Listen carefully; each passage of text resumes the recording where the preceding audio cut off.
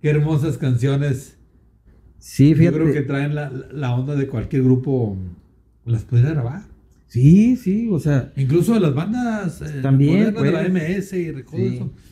sí, pero O sea, eh, desafortunadamente como que, como que eh, se metieron otros autores que también bien por ellos, ¿no? Sí. Que tuvieron su oportunidad, pero, pero muchos au- a- autores de los viejones nos quedamos rezagados. sí. ese tiempo. ¿No, ¿No crees tú que hayan cerrado así como el circulito nomás entre ellos y no dejaron entrar a Sí, se alguien arma, más? se arma un monopolio, ¿no? Sí. Eh, sí, sí, sí lo hay, porque a- ahorita, hoy en día parece que ya está un poquito más abierto, Sí. ¿verdad?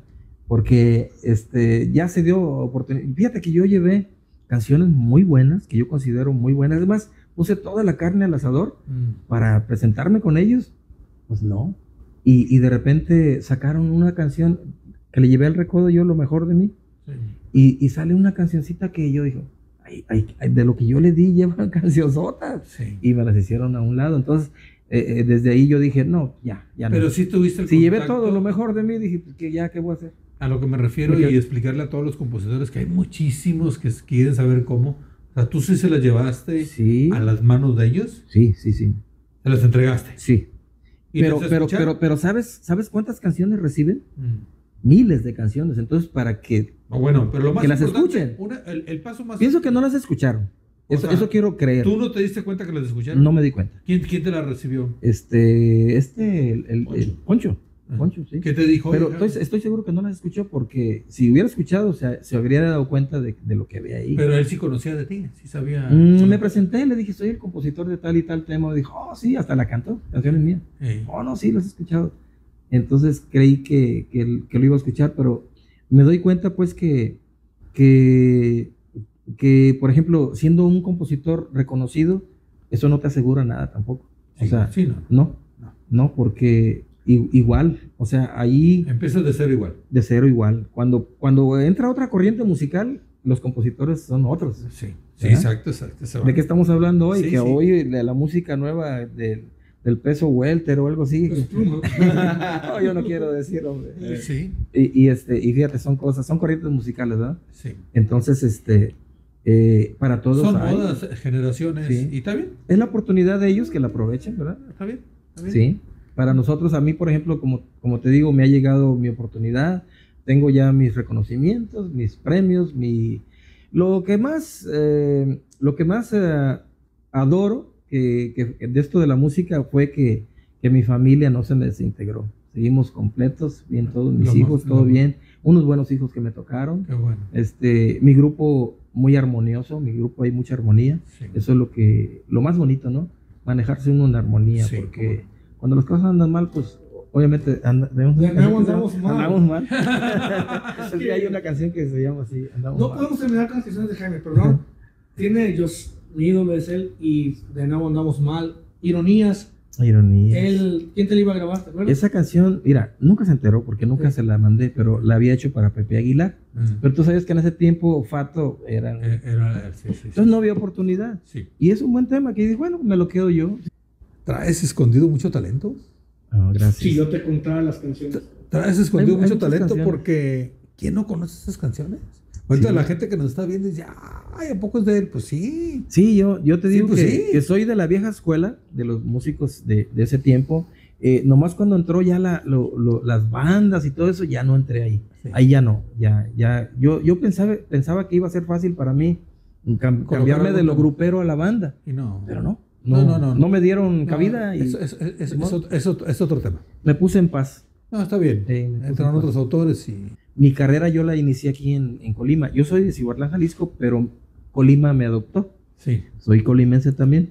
Entonces, este, mi carrera la inicié aquí y tuve el gusto con el grupo Supersol de que la gente coreara mis canciones. En serio. Es muy bonito. O sea, la esas verdad. canciones ya traen historia. Uh, sí, sí. a- a- antes de. Aquí la, la, la- Antes la- de. Las-. Sí, no, desde más atrás. sí, aquí teníamos el, el, eh, la gente de Colima tuvo el gusto, el privilegio de cantar mis canciones antes que en otros lugares. Ah, Sí, una, Qué- chul- una chulada de, de gente de aquí de una, Colima. una chulada. Sí. Dulce Veneno es un tema que te digo, este, que, no, que hasta la fecha nos ha dado de comer, también nació aquí en Colima. Es un tema que se fue colando solito, solito, sol- Sí. Un- algo muy especial que pasaba con ese, con ese tema, que hasta los niños la cantaban. No tiene nada para niños, pero yo no sé por qué los niños la cantaban. Salen su veneno. ¿ah? Mi manera de, de, de escribir, eh, hubo un tiempo en que yo hacía historias. Eh, O sea, esa era, por ejemplo, ¿Te las inventaba? tengo, tengo un, un tema que me grabó Viento y Sol, Sí. que se llama Camino al Cielo, es una historia. Ajá. Entonces, este, así me dio por escribir historias. Por ejemplo, Sueños de María es una historia. Y así, y, y la verdad se me hacía muy bonito porque hacer una historia en tres minutos o tres minutos y medio Sí, sí, es difícil. es, es difícil. Y, y sin embargo lo hacía. Entonces, este, yo no sé de dónde me empezó a dar ese gusto por, por hacer historias. ¿no? Sí. Entonces, este, el regalo pues es una historia Y- así. Esa canción pues es propia de ustedes, ¿verdad? De, de dueños. Dueños del sol. Y las canciones que te han grabado, por decir, este eh, Montés, la que te grabó Montés, también la tocan ustedes. Sí, sí, todo, todo lo que, bueno, mira, eh, todo lo que... Hubo un tiempo en que yo no sé, a lo mejor empezaban a grabar mis canciones de mis discos, porque yo grababa primero las canciones. El primero que me grabó mi- en mi carrera artística, discográfica, eh, fue el grupo Samurai. El grupo Samurai me grabó Lagrimillas Tontas. Para mí fue algo novedoso porque jamás me habían grabado un artista, unos artistas, pues. Eh, yo los grababa, pero yo no me sentía artista, pues. Sí. Entonces, este, eh, cuando ya escuché mis canciones en voz de alguien que era de Disa y que estaba sonando fuerte y todo eso, no, hombre, fue algo muy bonito. Ya para despedirnos, ¿cómo, cómo, cómo, cómo- cómo te la grabaron? ¿Tú se las mandaste? A mí me, me grabaron muchos artistas así. O sea, salí mi producción y de ahí agarraban. ¿Y, y a ti te informaron cuando, cuando Eh, iba a salir? no, no, no. este- Ah, de repente, Nada. No, de repente. de repente te diste este, cuenta. Estaba yo, porque me gusta mucho, mucho la música de- del norte, Sí, sí, sí. y empecé a meterme, ta, ta, y de repente, ¿cómo duele? Dije, "¿Se- ¿será la mía? ¿La pongo? Sí. No, hombre, qué sorpresa.